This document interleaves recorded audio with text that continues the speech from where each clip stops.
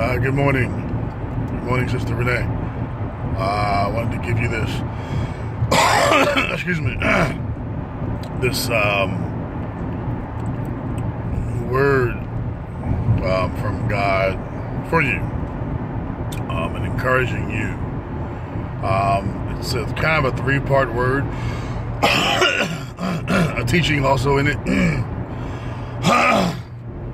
excuse me, I'm sorry something's in my throat.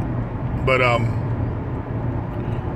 um, and this is something you can you can take the teaching out of this and actually help someone else um, in their life um, by this being given to you also. So let me start.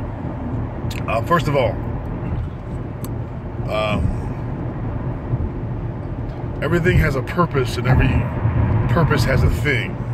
Know that everything was created for a specific purpose um, excuse me, and in everything that was created in its purpose, there is an environment for that purpose. There was an environment for the thing that it was created for.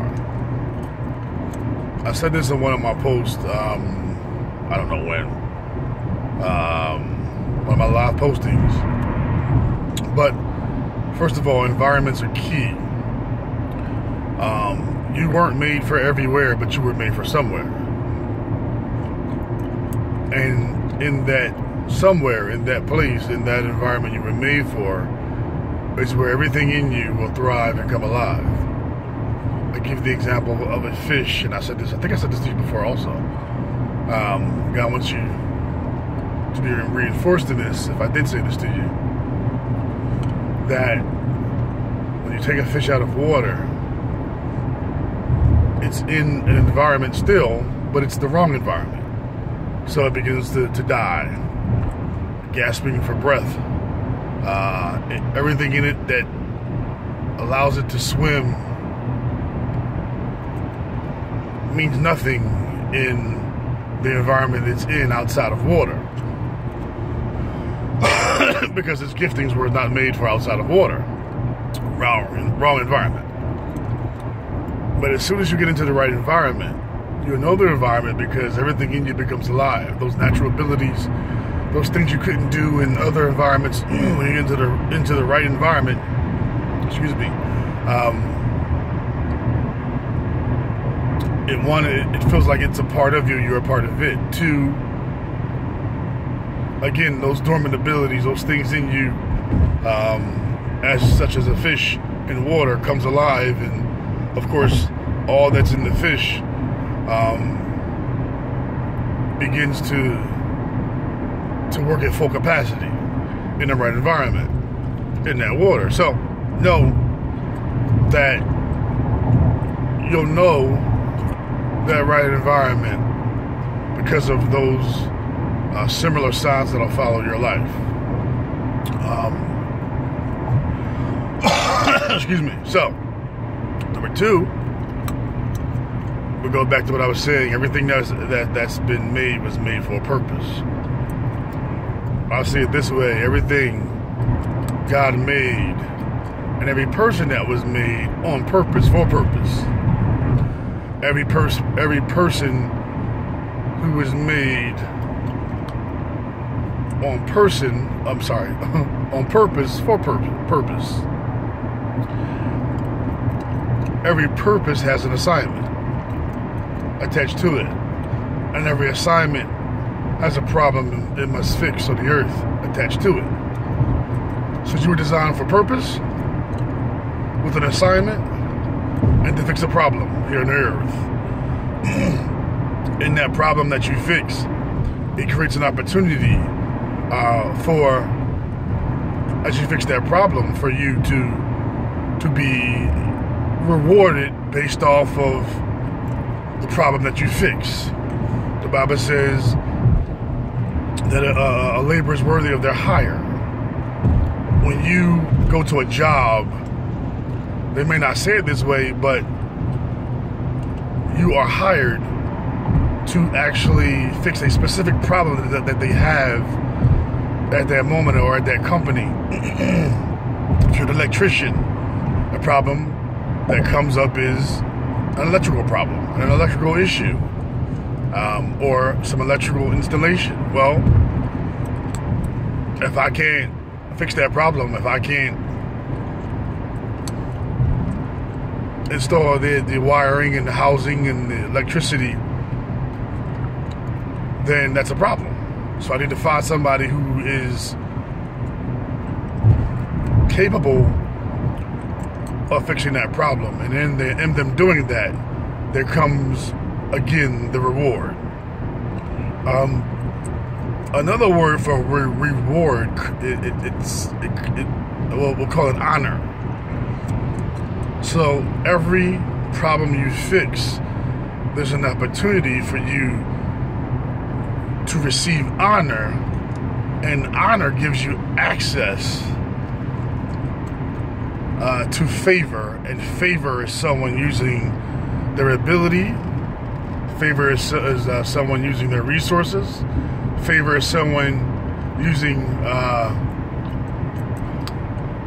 all that they have in order for you to prosper or give you kind of a uh, leg up or what we call preferential treatment because of what they have and, and what you did for them. Now, we go back to environment in that because favor is not everywhere. Favor is somewhere. As soon as you find the place of your assignment, you'll find that place of favor. As soon as you find the right environment, you'll find that assignment because your assignment is in that environment. So, I encourage you with that. We are people who seek God's hand instead of operating in God's principles. And that's a very lazy way to do things. Of course, like God is Santa Claus or like he's Lucky Charms, like he's magically delicious or something like that. Um, he's, he's God, and he, he instituted certain principles on this planet and certain wisdom keys to unlock doors. And, and I just believe wisdom is the key, um, as the Bible even calls it. Um, uh, so, things that we need access to is based off wisdom that He gave to us in the Word of God. But doors are closed, access to favor um, never comes about someone giving us preferential treatment based off of the principles that we follow never happens because we don't understand that the Word of God um, gives us instructions and gives us wisdom into who we are, into what we're called to do, into our assignment, into uh, the problems that we're called to fix, into uh, the favor that's afforded to us, into someone giving us preferential treatment because of all of that. Remember, Adam wasn't born just to be here. He was born and given a specific assignment, a, a specific purpose. It wasn't just to, to recreate or procreate, excuse me, but it was to have dominion and authority and rulership, replenishing the earth. It was, um, and you see his assignment being played out in the garden, garden of, of, of, of Eden where he's um, he's given charge over that area, and as of course he would main, remain faithful in that area, his sphere of influence and his sphere in that area, the area would actually grow. Um, and you see uh, his influence and his his uh, assignment grows because he goes from tilling the ground to now speaking over every animal that's on this planet and giving it a name and what we don't understand. And a name is, is, is key. A name is so important because a name gives that thing permission to be um, and gives that permission, that thing permission to have a life.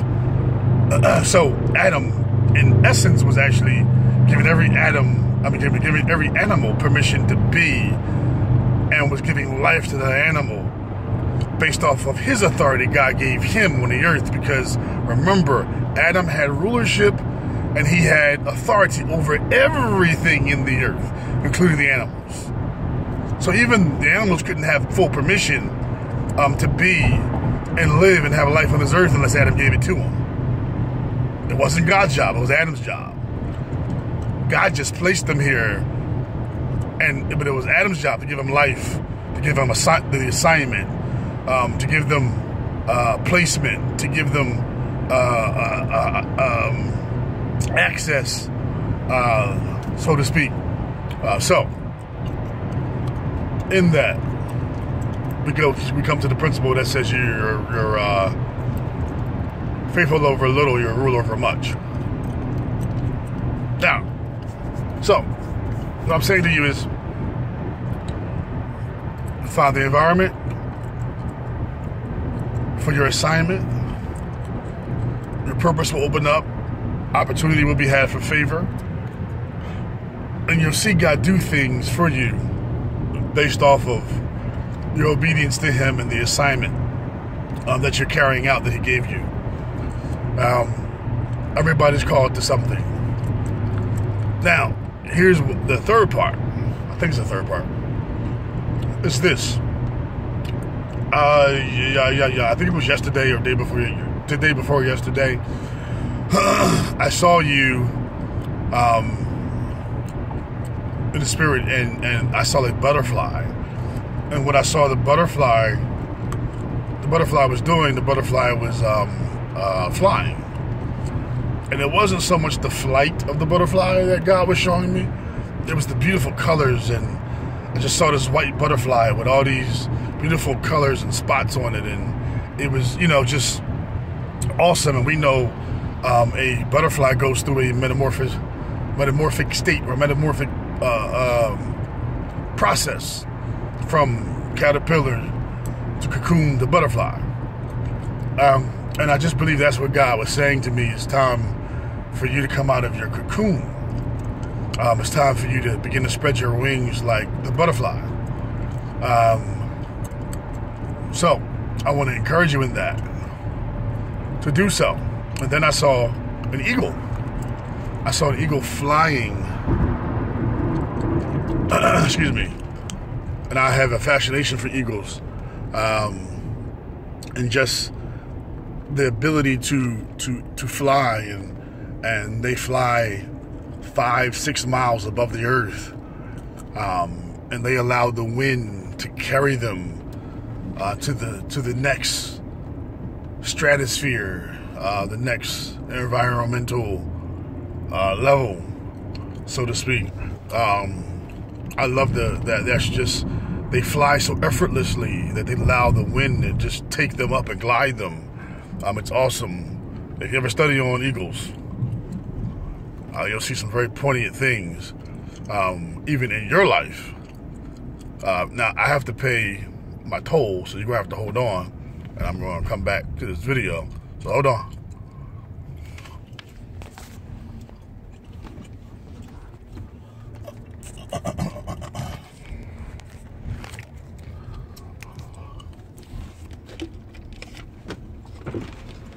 Uh, uh, uh, What's going on, brother?